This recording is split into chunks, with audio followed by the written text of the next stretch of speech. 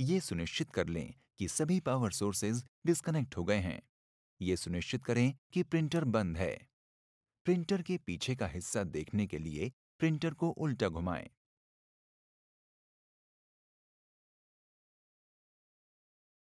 आपको printer body के नीचे चेचिस को पकड़ने वाले चार स्क्रू को खोलना होगा। आपको स्क्रू तक पहुँचने के लिए एक लंबे पेचकस की ज़रूरत पड़ेगी, जो कि नीचे की पैनल में घुसे हुए हैं। चारों स्क्रू को एक एक करके खोलें।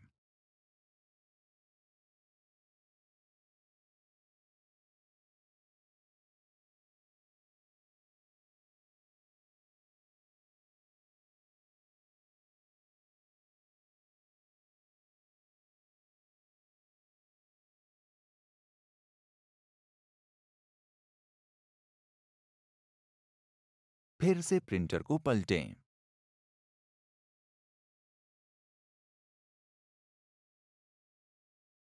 प्रिंटर के टॉप को ध्यान से ऊपर उठाएँ। ऑपरेशन में आसानी के लिए सबसे पहले प्रिंट हेड केबल को डिस्कनेक्ट करें। उसके बाद कीपैड केबल को डिस्कनेक्ट करें।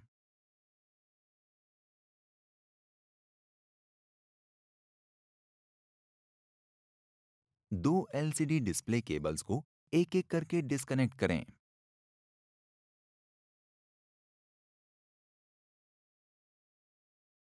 कस्टमर डिस्प्ले कनेक्टर केबल को डिस्कनेक्ट करें।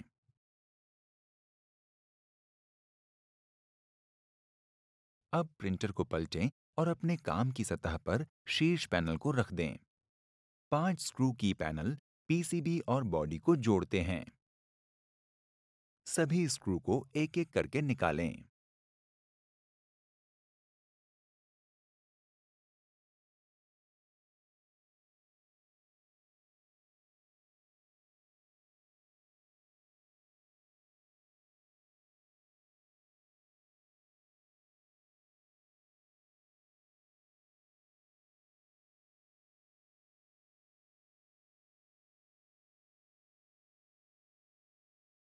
पूरा होने पर की पैनल पीसीबी को हटा दें और नए की पैनल पीसीबी से बदल दें।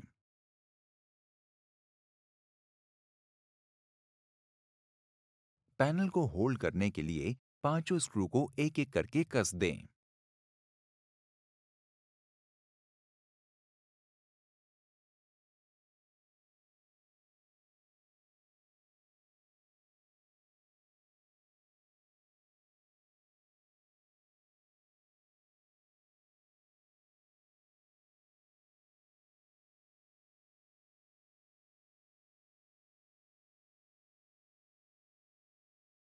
प्रिंटर हेड केबल को फिर से कनेक्ट करें। कीपैड केबल को फिर से कनेक्ट करें। दो एलसीडी डिस्प्ले केबल्स को एक एक करके फिर से कनेक्ट करें।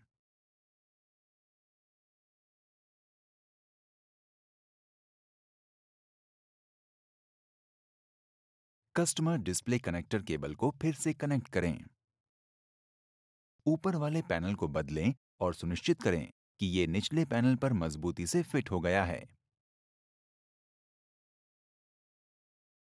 प्रिंटर के पीछे का हिस्सा देखने के लिए प्रिंटर को उल्टा घुमाएँ।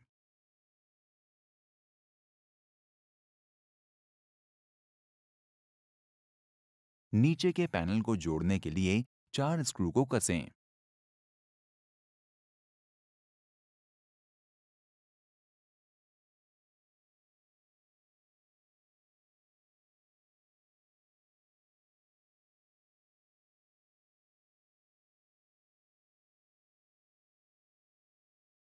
प्रिंटर को फिर से सीधा कर दें।